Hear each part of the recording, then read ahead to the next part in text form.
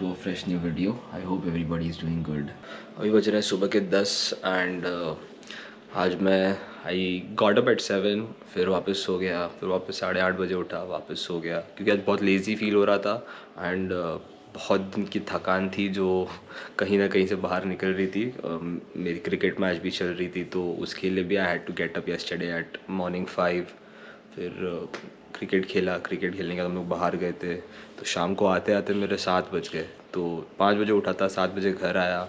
घर आके डिनर किया, थोड़ा काम था, वो किया एंड देन सो गया।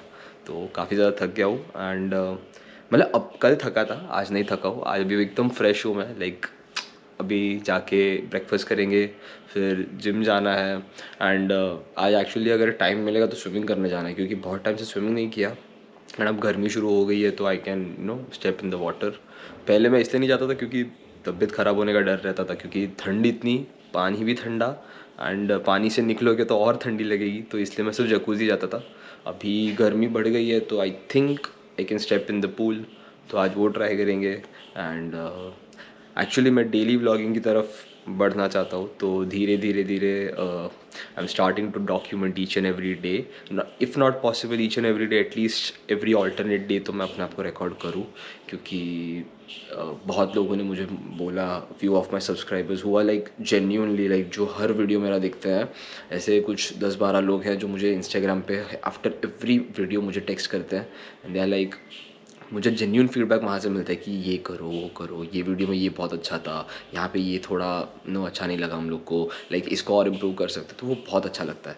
तो that's the plan and they all set कि you should try daily blogging like why not अगर तुम लोग को देखना है एंड मुझे तो रिकॉर्ड करना पसंद ही है तो अगर तुम लोग को देखना है तो वाई नॉट तो yes welcome back to the channel I hope everybody is doing good तो फटाफट ब्रेकफास्ट कर लेते हैं एंड देन ब्रेकफास्ट करने के बाद थोड़ा सा काम करेंगे उसके बाद I go to gym gym अभी आई डोंट नो लाइक मैं लंच करने के बाद जिम जाऊँगा या जिम करने के बाद लंच करूँगा तो वो पता नहीं है। वो डिसाइड करते हैं ब्रेकफास्ट करने के बाद, क्योंकि थोड़ा शेड्यूल पता नहीं, आज मेरा मेरा कुछ फिक्स शेड्यूल नहीं है। बट हाँ जो भी है, जैसा भी आप लोग ब्लॉग देखो तो आप लोग को समझ में आ जाएगा।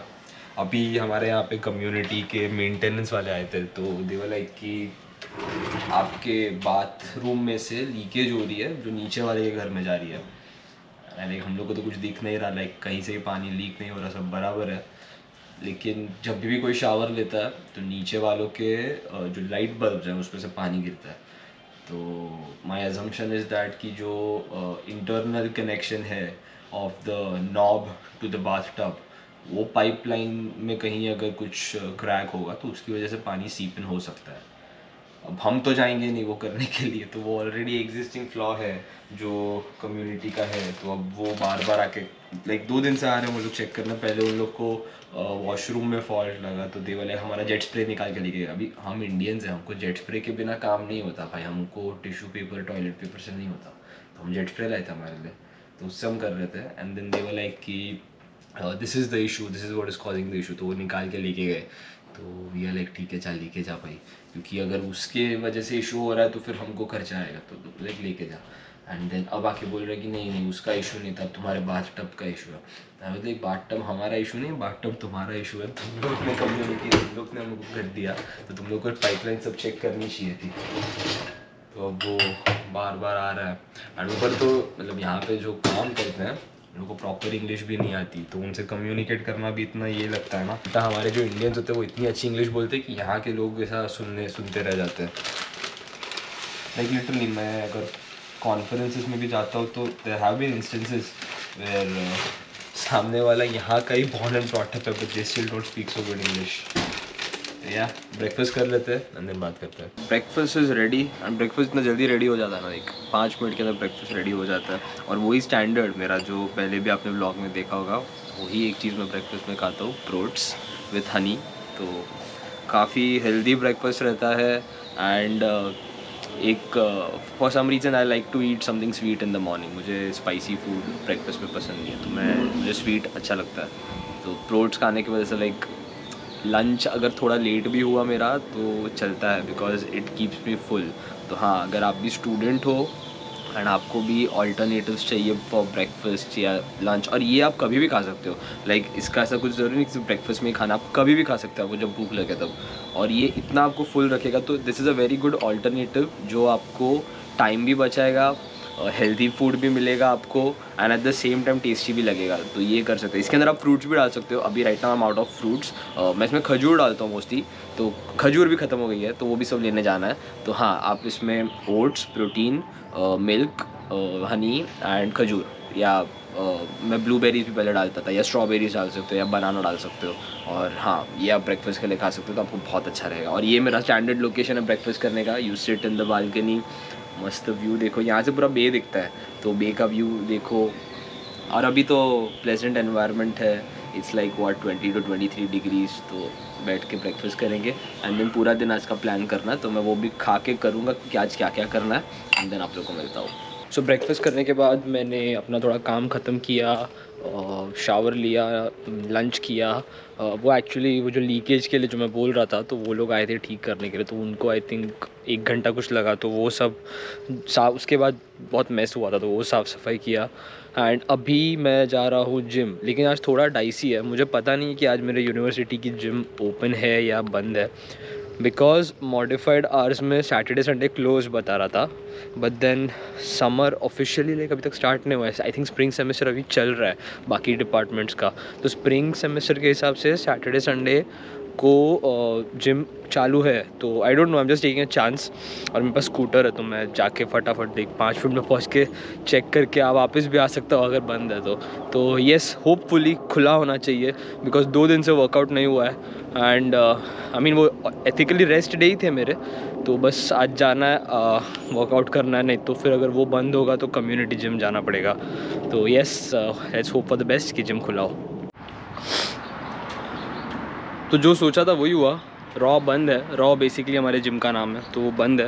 एंड यहाँ पे इन्होंने नोटिस लगाई है कि सैटरडे मे 11 से Sunday May nineteen close for semester break मुझे लगा था सिर्फ़ संडे बंद होगा, लेकिन ये सेमेस्टर ब्रेक मतलब अभी नाइनटीन में तक मैं यहाँ नहीं आ पाऊँगा। तो इतने दिन मुझे कम्युनिटी जिम जाना पड़ेगा। मुझे कहीं ना कहीं आइडिया था कि ऐसा बंद होने वाला है आज but then I was like chance ले लेता हूँ बिकॉज़ स्कूटर है तो मेरे को चल के तो आना है नहीं पाँच मिनट लगेंगे मेरे को आने जाने के लिए। बट हाँ कम्युनिटी जिम का बस एक इशू है कि वहाँ पे मतलब ज़्यादा कुछ इतना है नहीं वो शुरू होते ही ख़त्म हो जाता है। एंड डम्बेल्स uh, नहीं है मेन तो। तो जो भी है वो सब मशीन्स जो पाँच छः मशीन्स है उसमें ही सब वर्कआउट ख़त्म करना पड़ता है। बट ठीक है अब something is better than nothing तो अभी वापस जाते हैं कम्युनिटी जिम में जाते हैं। वहाँ पे गर्दी तो वैसे ही नहीं होती खाली रहता है ऐसा मतलब। खुद का प्राइवेट जिम जैसा लगता है। तो वहाँ पे जाके वर्कआउट ख़त्म करते हैं आज का। एंड देन आज स्विमिंग जाना है। तो फटाफट वर्कआउट करेंगे and then cardio post workout cardio की जगह पे हम आज स्विमिंग करेंगे। तो चलो वापस back to city view so I am your at the community gym and यहाँ पे देखो बस इतना ही है। एक चेस्ट प्रेस एक लैट पुल डाउन एक सीटेड रो एक multi station shoulder press and leg press that's it and वहाँ पे एक कार्डियो कार्डियो सेक्शन है, सामने। कार्डियो इज़ प्रटी बिग मतलब एक साथ आठ, दस लोग कार्डियो कर सकते हैं, उतना है। लेकिन जिम इतना ही है तो आज बेसिकली सब मशीन एक ही बार करेंगे, अपन चेस्ट करेंगे लैट पुल डाउन करेंगे सीटेड रो करेंगे। And majority of the time I be spending on multi station क्योंकि उस पर एंगल सेट करके आप अलग अलग वर्कआउट कर सकते हो एंड शोल्डर प्रेस करेंगे। सो अपर बॉडी के लिए तो है, लेकिन कल जब लोअर बॉडी करना होगा तो लेग प्रेस ही एक चीज़ है जिस पे मैं कर सकता हूँ। But I figure out something and उसके ऊपर मैं देखूँगा, अगर स्कॉट्स कर पाता हूँ मैं तो आई ट्राई ऑन दैट नहीं तो बॉडी वेट एक्सरसाइज कर लेंगे कल फॉर लोअर बॉडी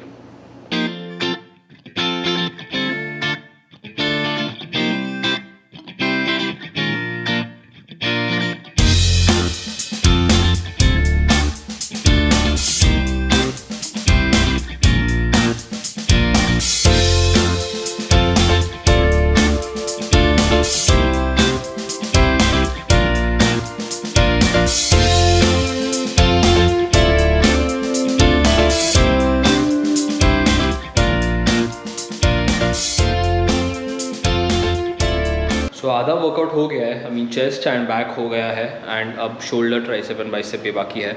ये जिम में जो मुझे एक चीज़ बहुत अच्छी लगती है, वो है ये सीटेड रो की मशीन इसका एंगल इतना अच्छा है कि परफेक्ट मसल हिट होता है एंड इसमें जो स्ट्रेच फील होता है मुझे when I when I use the machines in my gym तो उसमें जो सीटेड रोज वहाँ पे भी आई थिंक दो अलग अलग टाइप की सीटेड रोज है। लेकिन even if I change the grip and जो भी मैं कर लूँ मुझे ये स्ट्रेच कभी फील नहीं होता। आई I मीन mean, होता है लेकिन ये लेवल पे नहीं होता। तो फॉर सम रीज़न मेट्रिक्स की जो ये मशीन है सीटेड रो की बहुत अच्छी है। तो हाँ बैक एंड चेस्ट डन अब बस आर्म्स करूँगा। तो अब बस शोल्डर ट्राइसेप एंड बाइसेप ये बाकी है। एंड आज मैंने डेवलपर वीक का टी शर्ट पहना है। बहुत टाइम बाद आज जब मैं अपना वार्ड्रोब चेक कर रहा था, तब मुझे ये टी शर्ट हाथ में आई। बहुत टाइम बाद तो मैंने फटाफट ले ली, क्योंकि ये और कहीं पे तो मैं यूज़ करूँगा नहीं था। उस कि जिम में यूज़ करके इसे ख़त्म करते हैं। तो ये सब एक फ़ायदा होता है। When you go to these different conferences and when you volunteer for such events तो आपको टी शर्ट्स वगैरह ये सब ऐसे ही मिल जाते तो जिम के लिए आपको अलग से कपड़े लेने की ज़रूरत नहीं है। और अगर आपने मेरे डेवलपर वीक के ब्लॉग्स नहीं देखे तो यहाँ पर आई बटन में सब मिल जाएँगे। तो वो जाके देख के आओ।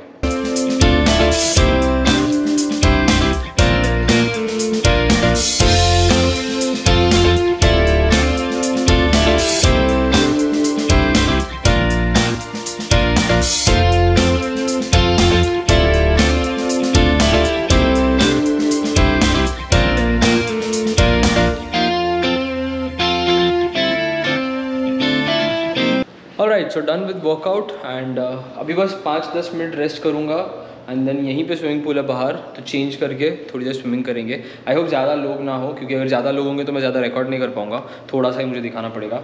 बट uh, हाँ जो भी है मैं चेंज करता हूँ और फिर आपको पूल सेट मिलता हूँ। I am little sceptical right ना क्योंकि बहुत सारे लोग हैं एंड मुझे कैमरा अगर मैंने कहीं पर सेट किया एंड uh, किसी ने कुछ बोला तो अच्छा नहीं लगेगा। तो आई डोंट नो थोड़ी देर वेट करता हूँ। अगर लोग कम हो गए तो ठीक है। वरना आज के ब्लॉग में तो मैं स्विमिंग पूल का पार्ट नहीं दिखाऊँगा। प्रॉब्लम इसके बाद वाले ब्लॉग में जब लोग कम होंगे, तब बताऊँगा। One hour later.